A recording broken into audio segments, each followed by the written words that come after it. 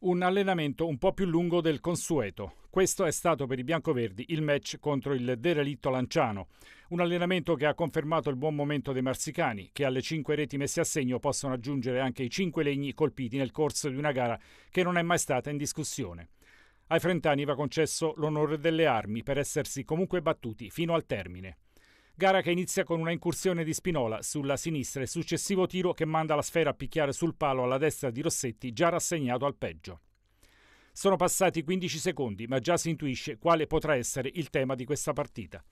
Al dodicesimo Spinola concede il bis con un destro a colpo sicuro che indirizza la palla a terminare la propria corsa, questa volta contro la trasversale. E dopo un'altra occasione per i marsicani, al ventiduesimo è Besana a dover fare i conti con la barra superiore, che viene scheggiata dal destro del terzino, che forse meritava miglior fortuna.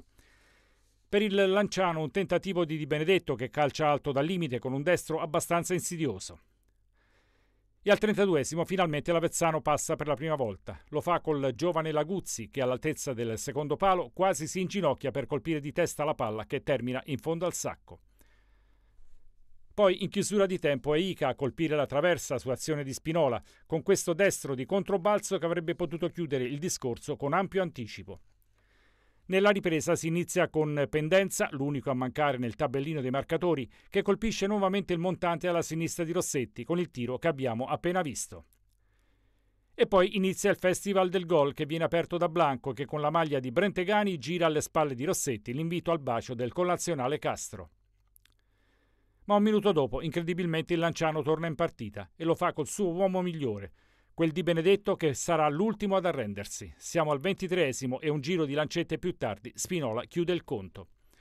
L'argentino carica il destro dai 20 metri e al povero Rossetti non resta altro che raccogliere la palla in fondo al sacco. Altri 10 minuti e il poker questa volta porta la firma di Besana, che scambia in area in diagonale non perdona, rasoterra verso il palo più lontano e siamo sul 4 a 1. A chiudere definitivamente la partita ci pensa nuovamente Spinola, che in contropiede azzecca il diagonale vincente con Rossetti praticamente immobile sul destro del numero 10. Altri due minuti di partita e l'allenamento si conclude. Per l'Avezzano è il quarto successo di fila, per il Lanciano l'ottava batosta. La squadra devo dire che è cresciuta tanto, eh, veramente ha più consapevolezza e più autostima. Ovviamente le vittorie aiutano tanto, no? la medicina però io devo dire che tranne la partita col Chieti questa squadra ha sempre fatto il suo e ultimamente stiamo raccogliendo quello che meritiamo e di conseguenza venuti, stanno venendo anche queste vittorie. Sono contento perché il gruppo è un gruppo valido che si allena benissimo, per cui sono contento per i ragazzi perché stanno facendo bene e se lo meritano. Ma no, rimpianto no, perché noi mh, mm, conosciamo perfettamente dove possiamo arrivare. Per noi era importante rimanere in partita il più a lungo possibile e cercare di tenere botta fino alla fine. Poi chiaramente avendo eh, i cambi limitati, la partita per noi gli ultimi 20 minuti è sempre un pochettino in sofferenza. Certo rimanere un po' di più in partita poteva anche creare delle situazioni favorevoli anche negli episodi.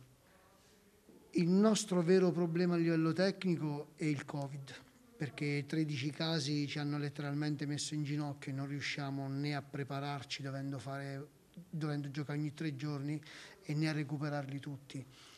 Per quanto riguarda le novità societarie posso dire che noi abbiamo soltanto l'appoggio di Chiaretti e Alluni che continuano a prepararci le partite e quindi a prenderci, cioè a darci una mano sulle partite. Questi sono gli unici nostri referenti. Gli altri onestamente non li abbiamo visti mai, se non con delle apparizioni in videoconferenza dove hanno sì fatto delle promesse, ma nella sostanza non hanno mai mantenuto.